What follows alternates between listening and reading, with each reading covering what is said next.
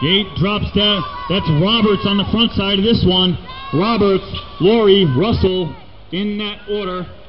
That's sporting the state number four plate. That's Evan Glenwright Roberts out of Charleston doing it for Eagle Eye and Quads. On the two spot, that's Race Boy Laurie out of South Kings, Kingston doing it for Eagle Eye and Quads. And on the three spot, that's Christian Russell out of Bradford doing it for Providence Bicycles. It looks like Laurie goes down. We're going to check on him. We're taking one to the main, and it looks like Glenwright Roberts transfers, followed by Russell.